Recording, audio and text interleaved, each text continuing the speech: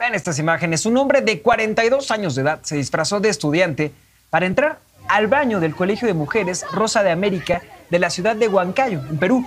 El presunto acosador que vestía el uniforme con falda y hasta trenzas fue identificado como César Walter Solís Calero.